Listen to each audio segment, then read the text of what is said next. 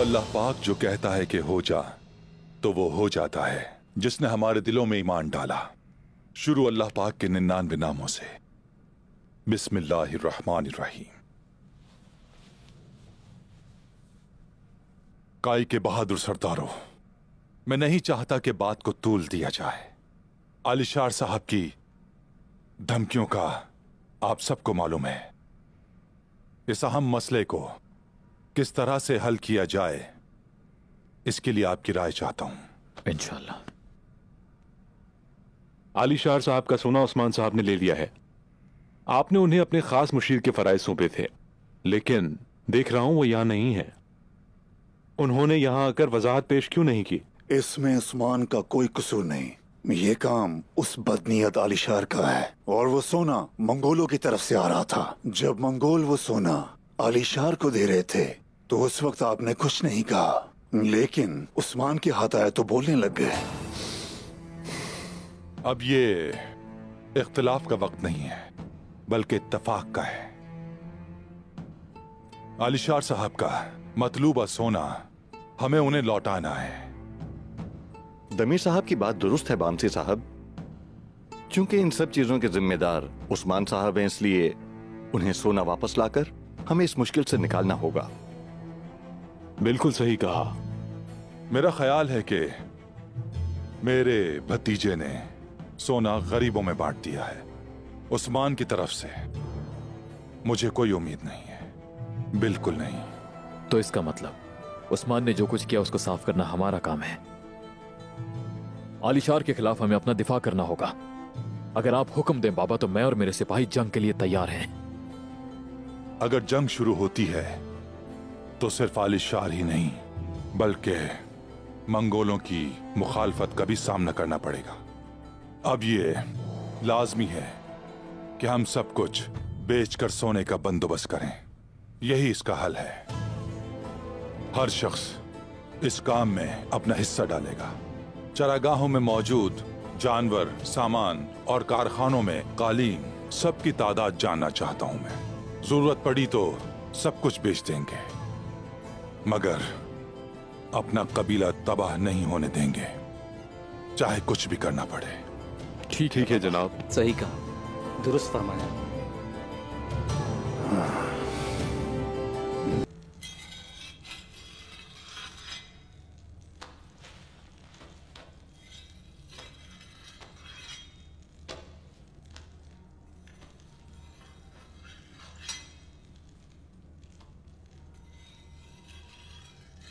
सिद्दीक तुम जिस राहदारी का बता रहे थे वो कहाँ है?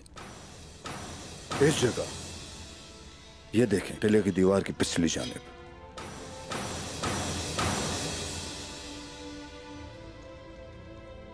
तुम क्या सोच रहे हो भाई? क्या है तुम्हारे दिमाग में? सांसा चाउश अगर काफिरों ने बाहर निकलने का खुफिया रास्ता बनाया है तो उन्होंने अंदर घुसने वालों के लिए फंदे भी लगाए होंगे।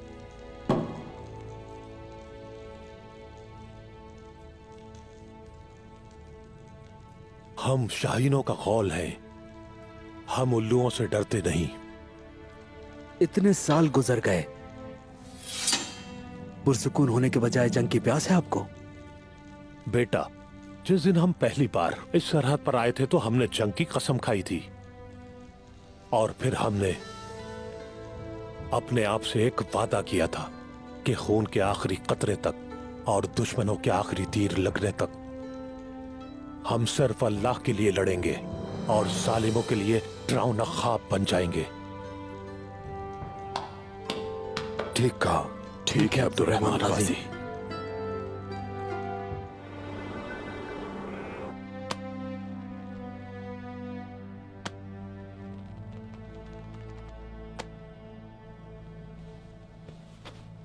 उस्मान उस्मान ने हमारे साथ क्या किया? देखा आपने सलजान खातून?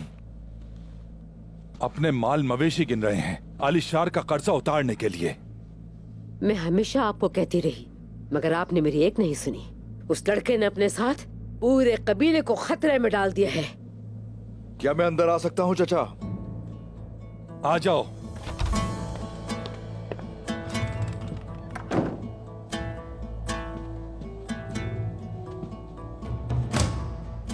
संजाक सरदार का सोना चुराने की ज़रूरत कैसे हुई तुम्हें उस्मान? इस वतन में हुक्मरानी दूसरों का माल खाने वालों की नहीं बल्कि हलाल खाने वालों की ही रहनी चाहिए। और वो सोना अलीशार का नहीं गरीब गुरबा का था फकीर फुकरा का था। आलिशार ने इस कबीले में आकर हमें रुसवा किया। इसकी कीमत गुंदूस को अदा करनी पड़ी। क्या कभी सोचा है तुमने इस बारे में उस्मान? अगर आलिशार जैसे लोगों की धमकियों में आने वाले हम होते तो सरदार हरगिज नहीं बकरियाँ चरा रहे होते हम उनके यहाँ तुम्हें चाहिए था ये करने से पहले सरदारों से बात करते मेरा काम बात करना नहीं सिर्फ़ तलवार चलाना चाहता हूँ। मैं वजाहत नहीं देता जाकर अमल करता हूँ मैं चचा। तुम्हारे ये अमल तुम्हारे चचा को सिर्फ़ और सिर्फ़ मुश्किल में डाल सकते हैं। मैं तुम्हें सरदार के खुसूसी मुशीर के अहदे से बरतरफ करता हूँ।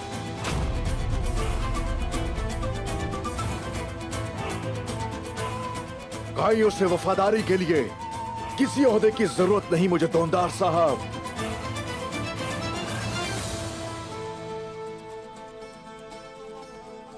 तुम कितने वफादार हो इस बात का पता कल चल जाएगा। लेकिन सांजाक सरदार ने हमें एक दिन की मोहलत दी है। अपने ओहदे की फ़िक्र मत कीजिए। अली शार का सोना मैं लेके आऊँगा यहाँ।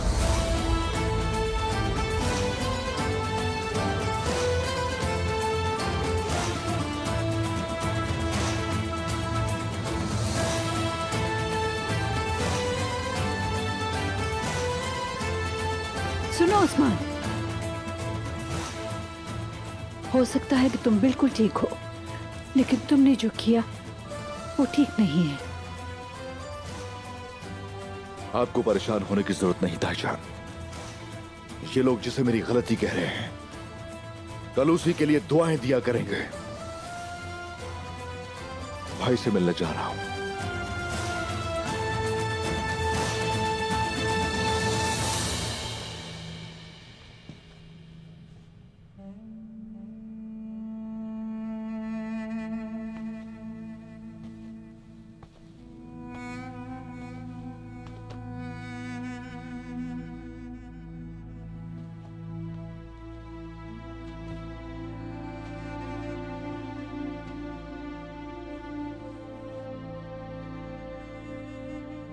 अब कैसे हैं?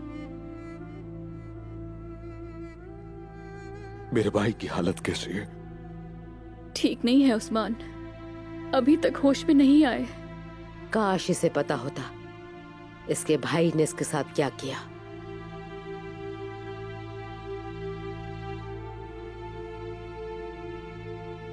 अब जो होना था वो हो गया है। अपनी बातों से उनके दिमागों में जहर ना भरो। क्या ये झूठ है? अगर इसे पता होता तो क्या गुंदूस जैसा बहादुर जाल में फंसता?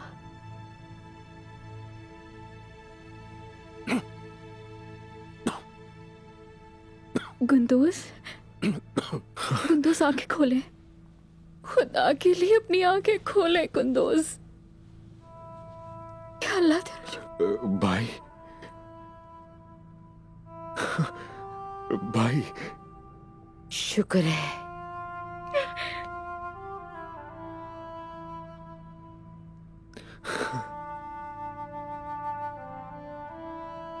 उस्मान। मेरे भाई।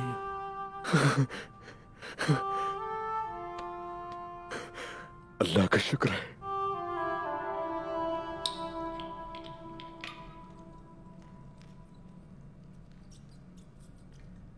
आलिशार उस्मान, काई कबीला। हम इन मुश्किलों से आखिर कब छुटकारा पाएँगे? सितारों की चाल अब के बहुत मुख्तलिफ़ है, हेलन। बिल्कुल इंसानों की तरह।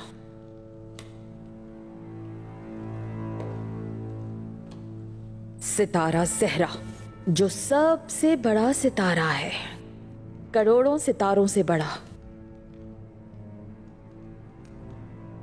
हमारा नसीब भी सहरा की तरह होगा।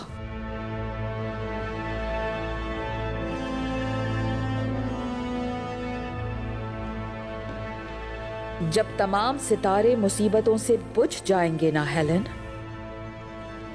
तो सिर्फ़ हम होंगे जो खाली आसमान पर जहरा की तरह चमकेंगे।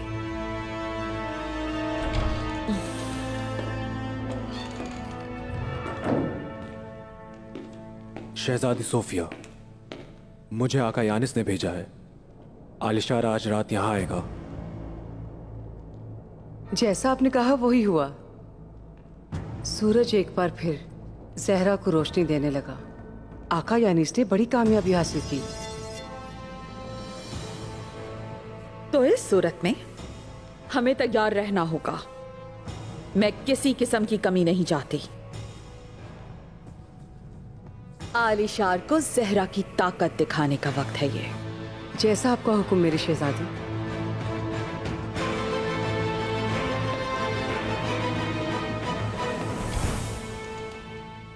भाई मुझे अब जाना होगा यहाँ से। अरे भाई ठीक हो ना तुम? इन जख्मों की वजह से मैं खड़ा नहीं हो सकता। शुक्र है तुम ठीक हो। अगर तुम्हें कुछ हो जाता तो मैं खुद को माफ़ नहीं कर पाता। अब मुतमिन रहिए भाई। फ़िक्र मत कीजिए।